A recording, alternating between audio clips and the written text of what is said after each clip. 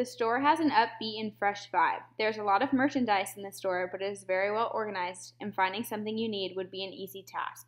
While the store has a fun environment, it still has a professional feeling relatable to their clothing. The store has a bright and refreshing look. The accents of red all around the store brighten everything up, and it is, very, it is a very inviting place to shop. Express targets men and women in the younger age range. They target the fashion forward shopper that is looking for anything from a big job interview to a weekend on the town with your friends. There were two different entrances to get into the store. The first entrance led into the women's side of the store, and the second one led into the men's side. Over both entrances, there were large illuminated express signs. Both entrances had sleek glass doors. Over both doors were red accents that continued throughout the entire store. Also on both sides of the doors were glass cases featuring clothes from the store. The floor plan is very strategic and well organized. To start, the clothes are divided into men's on one side and women's on the other. Within both of these sections, clothes are separated into a more business wear and basic wear sections. Towards the back of the store, you can find accessories, shoes, and the dressing rooms. In the center of the store is the checkout counter. Merchandise varies from clothing, both formal and informal, shoes, accessories, belts, and etc. There is a lot of merchandise held in the store with a variety of sizes. The interior was mostly all white, with the exception of some black and red. The floors were large concrete slabs that were pleasing to the eye. Everything looked very crisp. And Express has a wide price range due to their variety of clothing. Upscale clothing and formal wear can reach up to $300. Their less formal and basic clothing usually stays between $15 to $50. There was a sale section and also BOGO deals happening throughout the store on a lot of basic items in both men and women's. Here you find the women's business casual section. You can see there are pantsuits and silk shirts that might be good for a business meeting or dress down for a night out. This is the men's formal section. As you can see, there are formal suits, pants, ties, and any other necessities a man might need for a formal event or interview. Another section in the men's department features casual wear. You can see they are showing off their plaid shirts that are very in style right now. Their most popular shirt, the soft wash shirt, is a big seller in Express. Here is an example of one of their in-store promotions. This promotion offers buy one get one for $9.90. Throughout the rest of the store, you could find sales just like this one. There is also many 30% off racks in many places in the store. In addition to that, there is a sales section on the back side of the store. Francesca appeals to women of varying ages and diverse backgrounds, from value conscious to the more affluent. Their primary customer is a fashion conscious woman between the ages of 18 and 35. She is a college educated and has moderate to high disposable income. She enjoys shopping for the latest fashion and is attracted to their upscale boutique shopping environment. An awning is placed above the store with the name Francesca's printed above it. To the right, the window display is very simple with flower decals and words such as chokers, crossbodies, and spice. There are five mannequins neatly placed in front for outsiders to see. There is only one entrance to the store, when you first walk in, you see a rack full of red and black dresses, shirts, and skirts for UGA game day. To the right of this rack, there is a very large jewelry display. 90% of the jewelry is located neatly here. The floor plan of the store is laid out to where it takes you straight through the store. There is no special layout that makes the customer go to a specific point first. The customer can easily walk around in a circle. As you can see, Francesca's offers a wide variety of handbags, sunglasses, scarves, and other accessories. These racks are located throughout the store. Here you can see the main purse section. This section takes up about one-fourth of the left wall in the store. They carry a wide variety of designers, including Miami, Ayla, and Indigo Road. There is also a promotion going on for $6 animal wallets. Girls can buy trendy, inexpensive, but quality handbags here at Francesca's. One of the major in-store promotions currently is a table full of University of Georgia themed merchandise that is 25% off at the moment. This specific store only displays UGA merchandise during football season. In Francesca's, the color of the store are very neutral and warm. They use lots of wood to create a southern homey place. There is medium lighting throughout the store, not too bright or not too dark. There seemed to be no air fresheners in the store, however, did not smell bad nor great. There is also minimal music in the background. It is soft, upbeat, and gives off an indie vibe. Francesca's pricing policy, including gifts, accessory, and clothing, ranges from $4 to $58, not including clearance.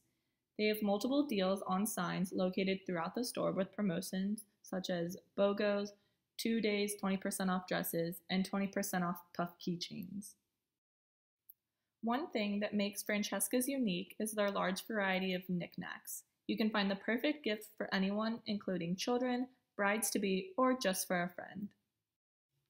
The sale section is located towards the back of the store. There is a large sale sign above the items so customers can easily pinpoint the merchandise. Sale items usually run from $9.99 to $29.99. Urban Outfitters focuses on freedom, culture, and community, and this is obvious through its different displays and design. The store has tall ceilings that instill a feeling of freedom in the customers, similar to the people that would shop there. There are several overhead lights that brighten the store, especially matched with the light hardwood floors. It is inviting and it promotes the natural, unique, and culture theme of the store. Urban Outfitters originally existed to provide secondhand clothing, furniture, jewelry, and home decor for its target market of college aged customers in a casual and fun environment, and continues to do so till this day. There was one entrance in the Urban Outfitters location I visited. When the customer walks into Urban, the first thing they will see is a main display of women trends on five mannequins. The customer then had the option of going straight towards more clothing merchandise, going left towards beauty supplies, or going right towards more women's clothing styles. On the other side of the building, in all capital letters, it reads Urban Outfitters in black paint. There were both women and men's dis- styles displayed in glass windows on the outside of the building. Other than that, the entrance was basic and simplistic in its detail. The store is organized very well. Women's styles are in the front portion of the store, while men's styles are in the back. A home and accessories section separates the two different sections of the store. Women's styles occupy about 75% of the store. There's a women's shoe section, intimate section, beauty section, all within the women's portion organized in a customer friendly way. Register is located in the central area of the store, directly between the men and women's sections on the side. There was also a secluded room consisting of sale items for both men and women in the back of the store on the right hand side. The dressing rooms were directly across from the sale section on the left hand side. There was not an obvious direction the store intended traffic to flow. Because different merchandise was scattered throughout the store, a customer has the option of walking in a pattern that is best fit for their shopping experience. However, men tend to walk straight back to their section, skipping all of the women's clothing, accessories, and merchandise in general. The store has a clean, crisp aroma to it. I believe this was accomplished through the decorating choices. The light, lar- the light hardwood floors, open high ceilings, and bold lighting creates a feeling of natural light and relaxation. The decor is minimal yet bold. There are some photos along the top of displays towards the ceilings of models wearing Urban Outfitters clothing. The displays were mostly of wood with a glass tabletop, but occasionally a metal rack or all wood display was used. Urban Outfitters preserves buildings and their original features in hopes of maintaining a layered history and infusing a fresh new atmosphere. This was accomplished well at this location. For the most part, the clothing was categorized by style for example, intimate basics denim dresses. However, Urban Outfitters carries a variety of brands and designers. Despite the range or lines the store carries, it puts a lot of attention on some brands over others.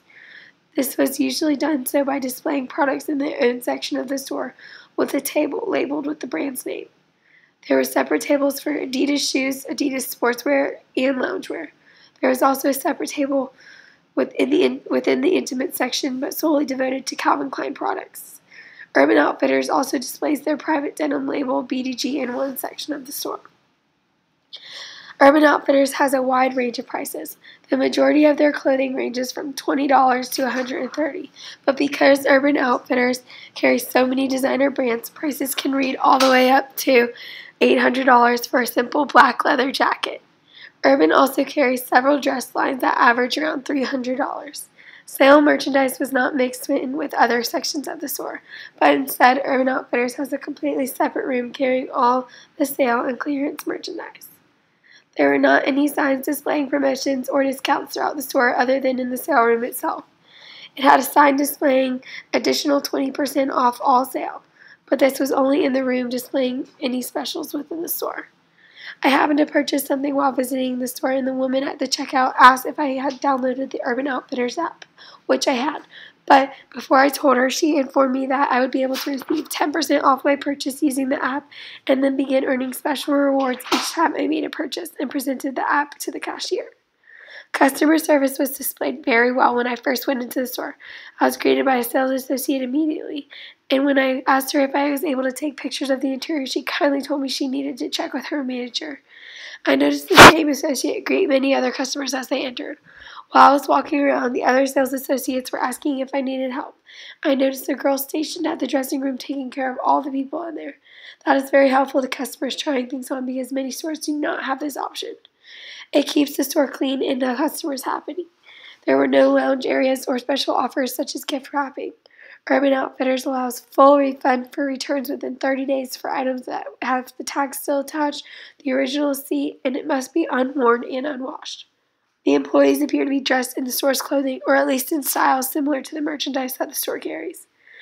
The employees' friendliness and upbeat attitudes mirrors the store's values of community by being inviting as if a neighbor would.